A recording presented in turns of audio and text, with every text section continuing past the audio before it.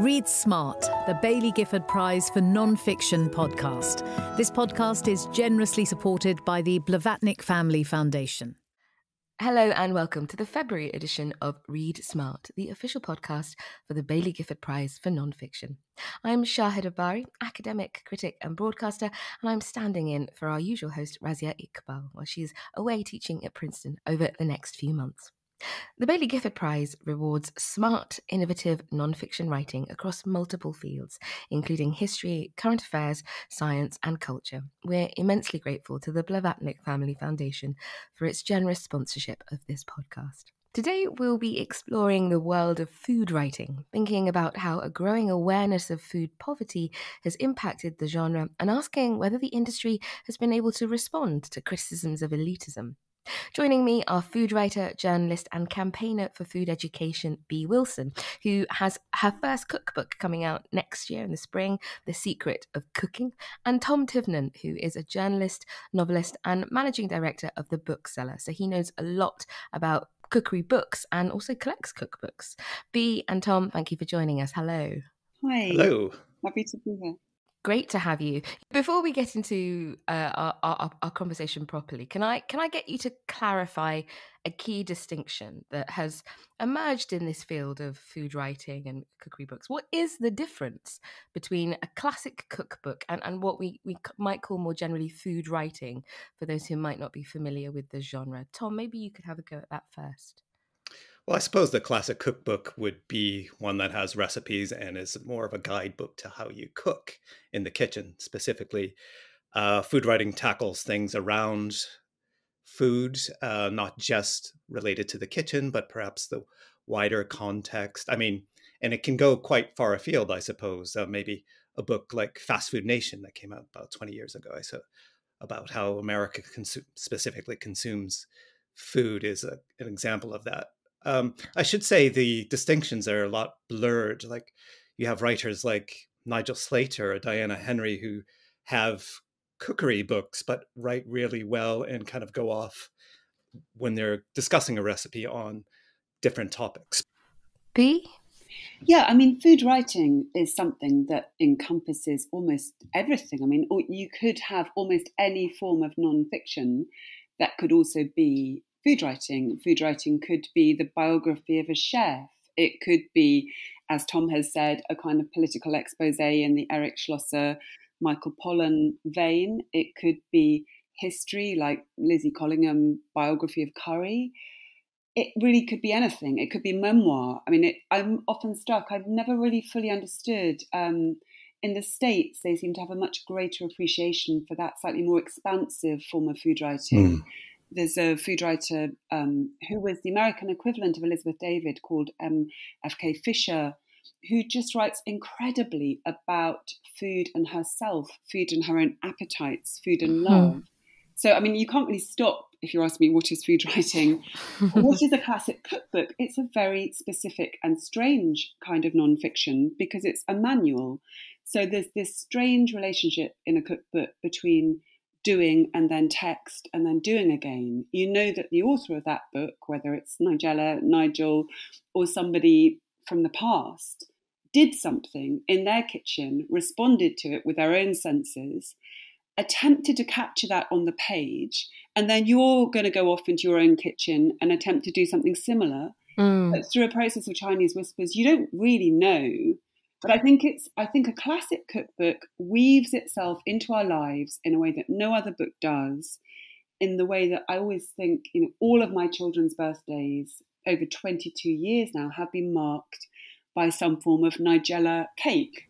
Mm-hmm. It's intimate that relationship. It's as if she's there with me. She's clearly not. I'm delusional But it's a classic cookbook is slightly unlike any other form of nonfiction. Mm. I actually have my doubts as well whether it is nonfiction, but maybe we can get to Ooh, well, maybe I need to ask you about that in a moment about whether it's nonfiction. Um, but I, I, want to ask about food writing now. Maybe Tom, I can ask you this: Who's the most interesting food writer around at the moment?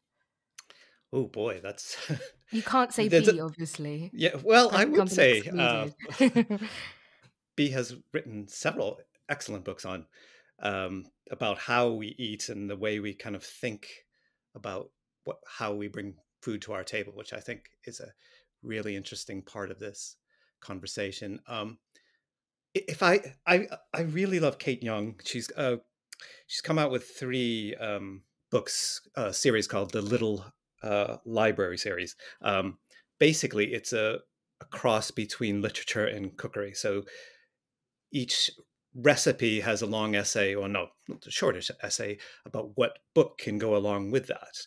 The, the recipes within them are great, but I find myself uh, keep going back to these books and just reading what she thinks about, you know, how her love of Dickens relates to her love of tarts, for example.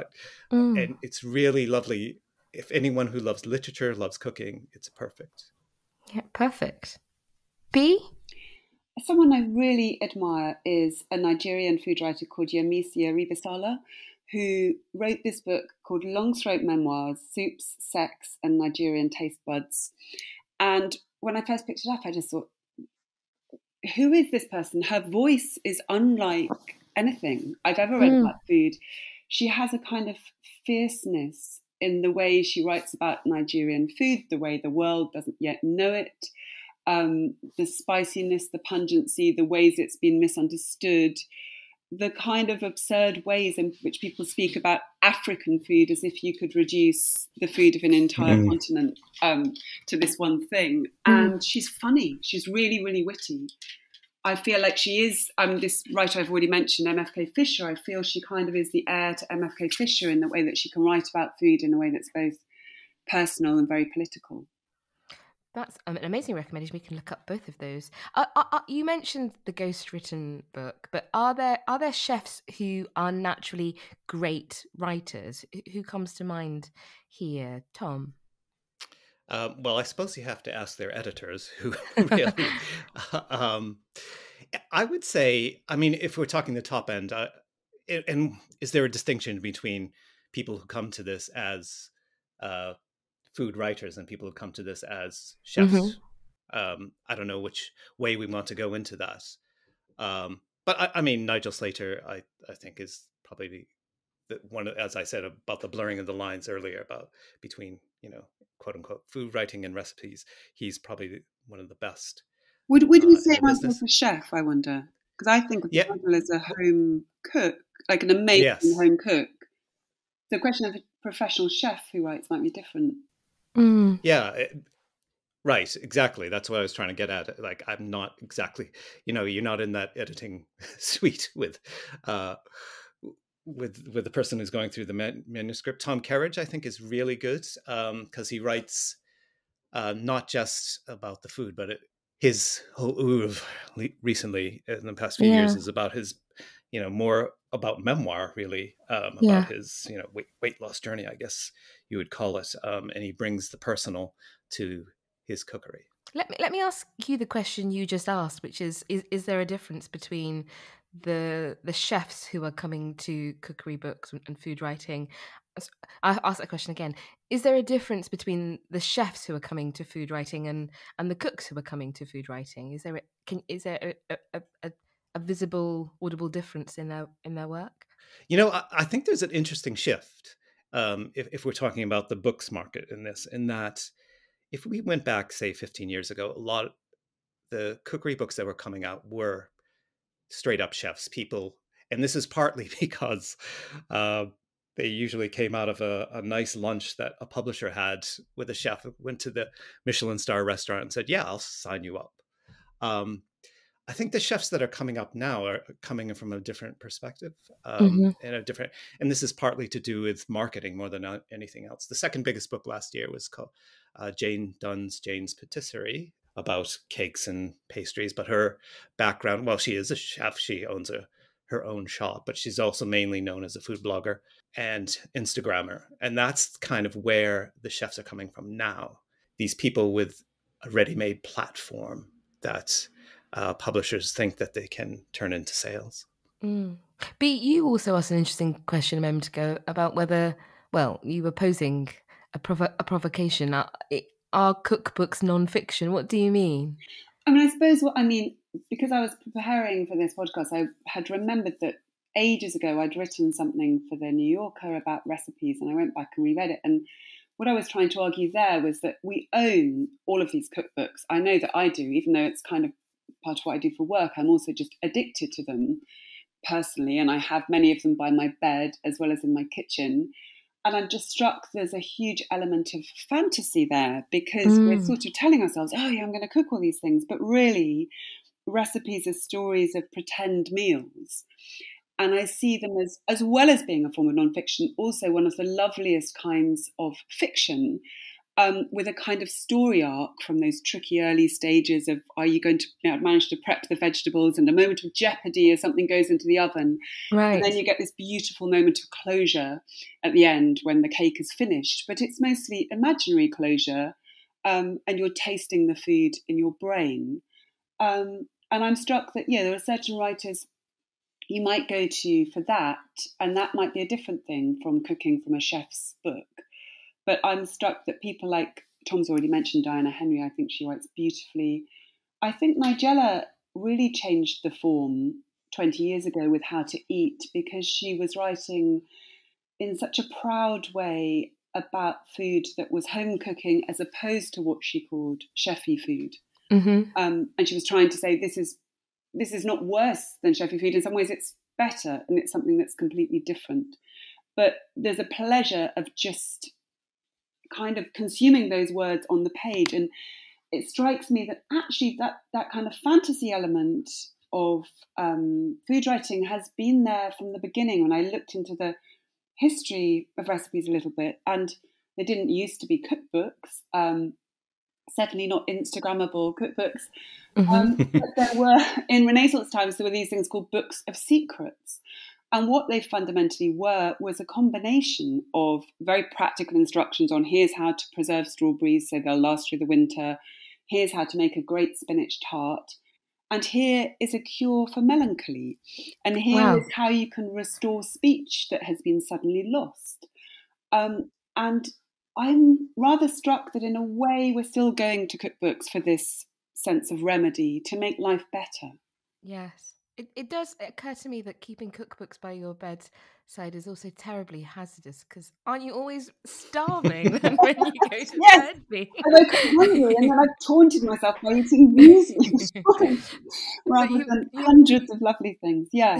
but you mentioned something very interesting there, which is about the the Instagram chef, you know, the, and the recipes that go viral on TikTok. I wonder, Tom, if you have a sense of how social media has changed the cookbook industry and, and has it had any impact on on publishing? I, I can think of several social media cooks. Yeah.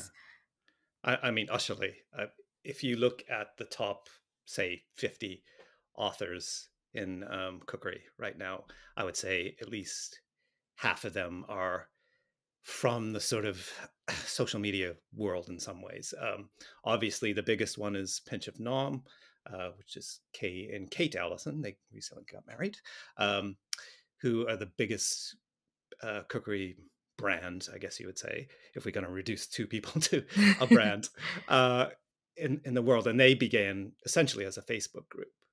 Um, Jane Dunn, who I mentioned previously, an Instagrammer, Joe Wicks, he became famous first on Instagram. And I would argue that Jamie Oliver's right now his main you know audience is on Instagram and TikTok. It's not on Channel 4 mm-hmm. So that this is what publishers are looking for. This is what moves copies. I I think.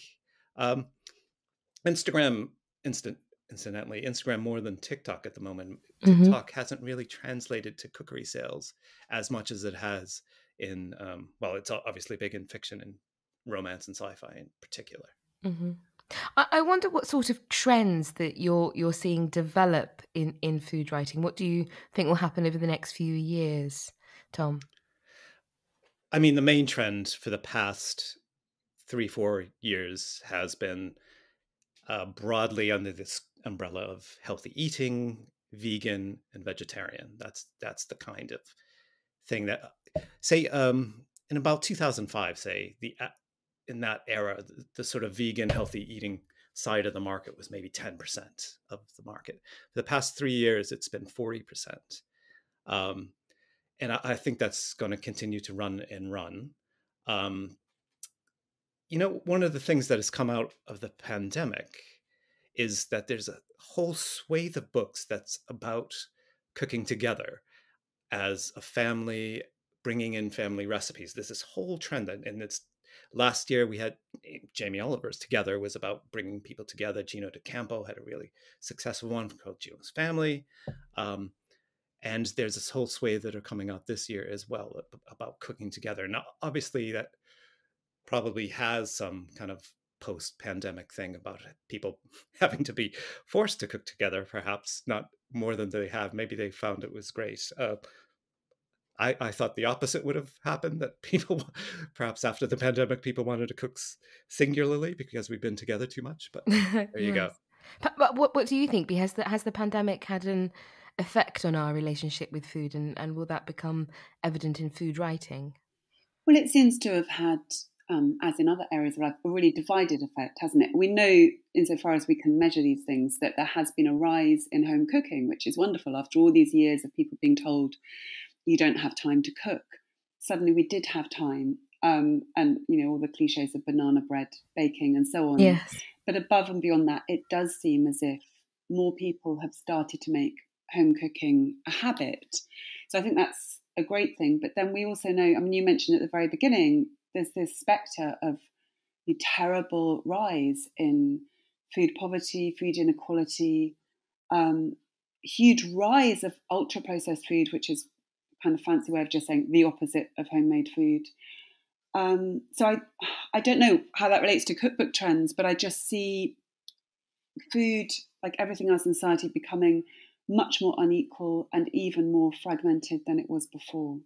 Yes, I was going to ask you about about this obviously because you're somebody who campaigns for food education and we've seen high profile campaigns like Marcus Rashford's and Jack Monroe's highlighting um, food poverty issues and the disparity between some of the government issued figures and what seems to be the reality for, for many people. And I wonder whether that will inflect the things that are published in food writing going forward. Um, uh, what do you think, Bee?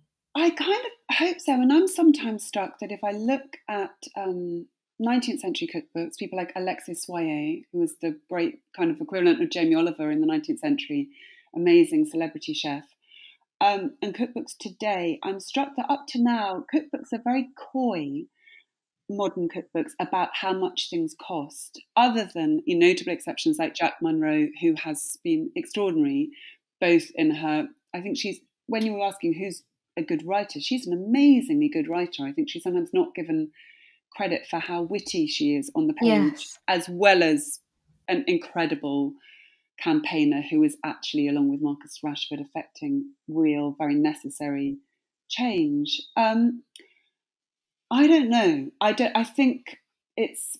I think it's a huge entrenched problem of people living in these different bubbles. I think, you know, it's kind of heartbreaking thinking um, you speak to teachers and head teachers and children who already didn't have that much fresh food in their diets with the loss of the school dinners while they were away from school during the pandemic. It, mm-hmm. has got worse. And what I do, um, my food education charity, it's called TastEd, and we just create lesson plans so that teachers can bring fresh fruit and vegetables into the classroom and simply get children to respond to it with all of their senses. But I'm often struck, you know, the the aim behind that is that it's only one little piece of the jigsaw. You actually need to obviously make fruit and vegetables far more affordable, accessible, all the stuff Jack Monroe is doing. But also, there's a real problem if you've never tasted it before, you think you don't like it. So we've mm. met British 10 year olds who've never had a raw tomato, they've never held an onion, they've never felt a carrot. But I'm struck that part of what's happening, the teachers are reporting back, is it's sort of turning them into food writers. So once you place food in a child's hand, they can't stop speaking and writing. It's this incredible tool for literacy. So it strikes me that we kind of talk of food writing as this very narrow thing. Like over the years, because I used to do different kinds of writing, my background was a, as a historian. I sometimes would get this kind of almost snobbish thing of like, oh, why do you write about food? That's something almost irrelevant. And when I see the children interacting with food, I'm struck, no, to kind of kind of interact with food and use words to describe it Mm. is a really basic human thing. I don't know where I'm going with that, except to say children are incredible food. If you just if you give them berries and say something like, "What does it sound like?" and they'll say, "The strawberry sounds like rustling leaves," or blueberry is silent," or "It is like the plum is like squelching in the mud." How Um, gorgeous. it is gorgeous. Yeah, I, I, I guess I'm trying to get to a question, Tom, about I, I think a, a long-standing accusation about the f- about food writing and a, a- a cookbooks being um snob. Uh, there's a kind of snobbery there that that that to be a gourmand is to be part of an elite, and that certain cookbooks and food writing is for perhaps the middle classes or aspirational. And in 2018, Ruby Tandoh, the, the, the journalist and former Bake Off contestant, quit The Guardian, claiming that the world of food writing was elitist. I- Is that still the case, do you think? I think partially it is. It definitely is. Um, you know, it, and there's, you know, practical reasons for this. Cookery costs of cookery books are probably the highest in most categories because it's a hardback driven, um, hard hardback, full color driven uh, genre, which means that they're you know they- they're illustrated books and they have nice pictures in it. So you know you're starting at a regular list price about 20 pounds usually for cookery books for for most cookery books so the barrier to entry for a lot of people can be quite high. Um, but i think there have been moves to change this. You know jack monroe you mentioned who's um, obviously that's part and parcel of what she does is to talk about this food poverty um, and the kind of disconnect between working class people and um, and sort of the middle class people are middle class white people, shall we say, who are you know the main audience of, still of cookery books. But I think there has been a democratization of food, of cookery books in general. I mean, pinch of nom. We don't talk about class enough about who writes the um, food books, but you know, Kate and Kay Allison, Allinson are um, a couple of middle of working class ladies from Merseyside. So Mhm. I, I don't I you know if I look back at the best selling cookery writers going back from now to you know 1990s I, I think they're the only people who would you know describe themselves as working class Mm. um and you know joe wicks i think you know an essex boy uh, even though he's probably well if you can afford his personal training lessons you probably are middle class but anyway uh he speaks directly to sort of working class you know sensibility i think and the ba- and it's a friendlier um way to get into the cookery rather than we talk about this a lot at the, at the booksellers and publishers are always talking about this that um, buying books in Waterstones or um, you know your posh independent bookshop is not easy for working class people because Mm. it can be intimidating. Mm. Uh, and I'm not, and they're trying to figure out ways around that and reach out to different communities. Um, and this is particularly a difficult question for cookery writing. Mm. Bee, can I ask you about diversity in food writing? You mentioned Yemisi Aribisala's Long Throat Memoirs, the, the, the Nigerian um, writer. Um, and I, I was thinking actually food writing has always been diverse to some degree. I was thinking about Ken Hom and Madhur Jaffrey. But, but is, is the landscape becoming even more diverse? I think it is. There's a very significant food newsletter called Vittles that was set up by a food writer called Jonathan Nunn that has kind of consciously gone out in search of more diverse voices and also just different stories to tell about food.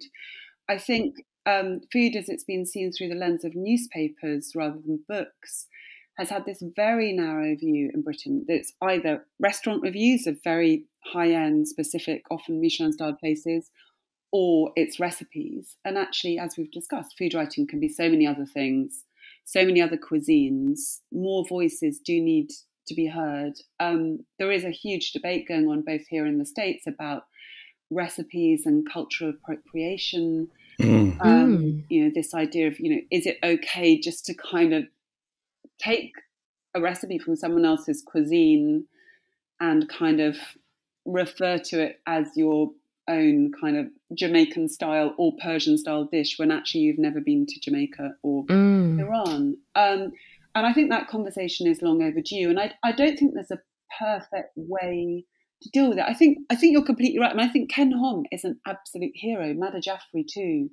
And I've actually just been rereading some Madhur Jaffrey um, for a review article I'm writing.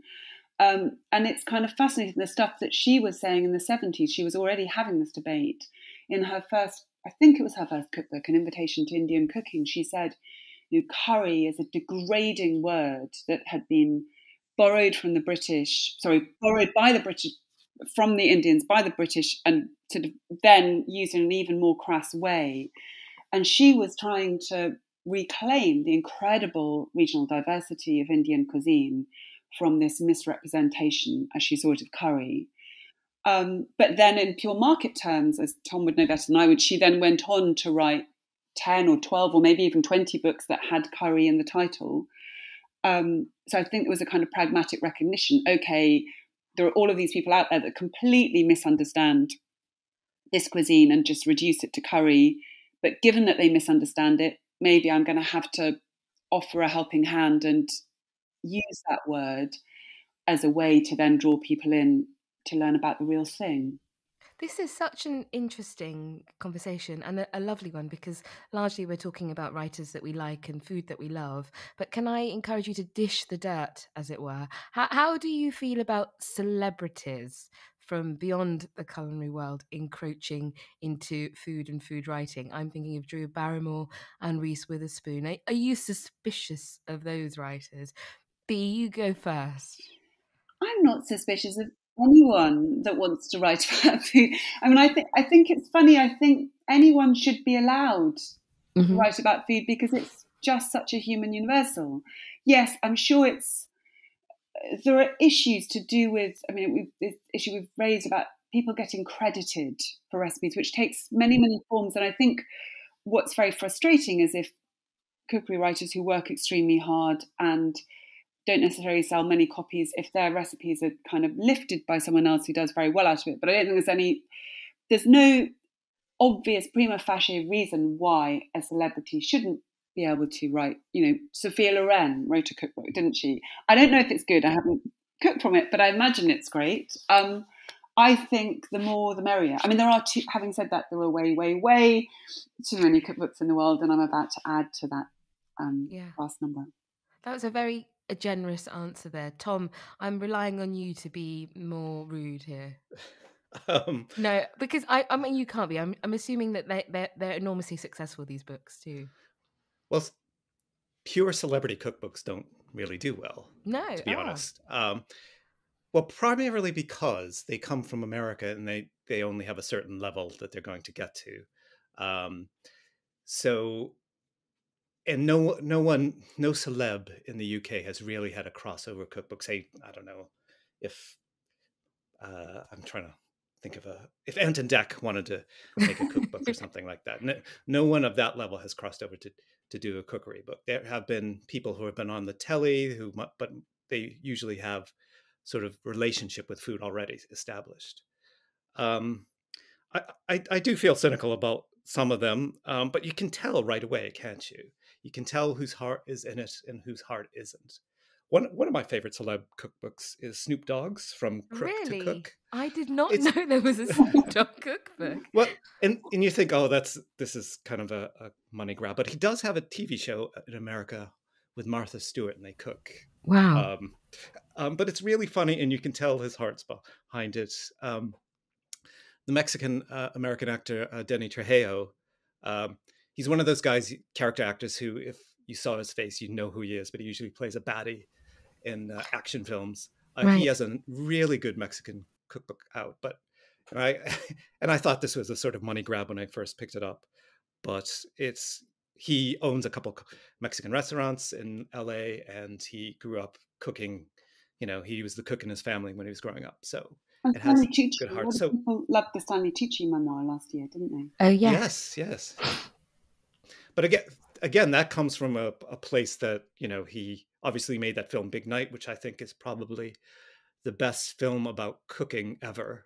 um, indie film from the uh, must have been the '90s about these two brothers. I don't know if you've seen it, but these two brothers who own this restaurant that's failing in New Jersey, and because they cook authentic Italian food, and they have to make this big meal, to try to save the restaurant. It's probably the best. Yeah. So so Stanley Tucci's book came from a, a place of, you know, being grounded in food.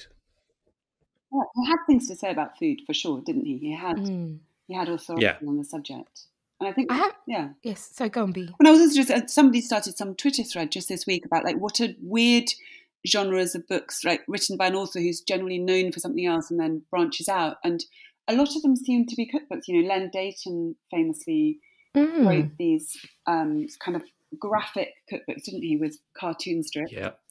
Um, I, I think there are other examples. I'm now trying to remember from that thread. That's the only one I can picture. Okay, but I, I have to. I'm just reflecting on um, your imaginary example, Tom, of of Ant and Dec, and I'm just recalling that Ant and Dec presents Saturday Night Takeaway. So I think that would be mixed messages if they started a cookbook. Um, let me ask you a final question, which is: um, we know now to look up um, Snoop Dogg and Sophia Lo- Loren's cookbooks, but would you recommend a book for someone who's new to food writing? What where would they where would they start? Bee I mean, I just think Claudia Roden is the best, really. I think her book of Middle Eastern food came out in the 60s. It just, people talk about Elizabeth David transforming the way the British ate. I think she was really the person who transformed the way the British ate. She described how her father came from Egypt in the 50s and, you know, there was no, the idea there'd be hummus in the shops, unimaginable. And now it's everywhere. And that's really partly because of her quiet, elegant influence. And her books are beautiful to read, but also meticulously tested. You know, they work so well and they're simple. And she's influenced everyone from Ottolenghi to the brilliant Honey and Co. writers, um, Itamar Srulovic and Sarit Packer. So I think she's she's my absolute goddess, Claudia Roden. wonderful, Tom. Um, if we're talking about an entree into an entree i- into uh, cookery, uh, is Samin Nosrat's salt, fat, acid, and heat, um, which uh, I always get those words mixed up. I hope I put them in the right order. Uh, this is a, a book which I think just distills everything down to those core ingredients, and it- makes you prepared to, of what to do in the in the kitchen. Um, she writes so well and dexterously about uh, the core of cookery and what makes cookery beautiful. Um, it's a beautiful object as well. One of the best um, designed cookbooks I've ever seen. And this is in a we're in a period, I should say, where design of cookbooks are probably at the best it's ever been. Um, partially, to, this is probably on a whole other topic, but partially to kind of combat combat against um, the internet. Um, but yeah, and there she has a companion Netflix series for anyone who wants to watch that as well. Wonderful. Thank you both, Tom Tivnan and Bee Wilson. This has been such an interesting and companionable conversation. And of course, everyone is now starving. Thank you too to the Blavatnik Family Foundation for its generous support of this podcast. If you'd like to know more about the Baillie Gifford Prize for Nonfiction, you can visit the website or follow us on Twitter at BG Prize. Tune in next time to hear more from the world of literary nonfiction. Goodbye. Read Smart, the Baillie Gifford Prize for Nonfiction podcast. This podcast is generously supported by the Blavatnik Family Foundation.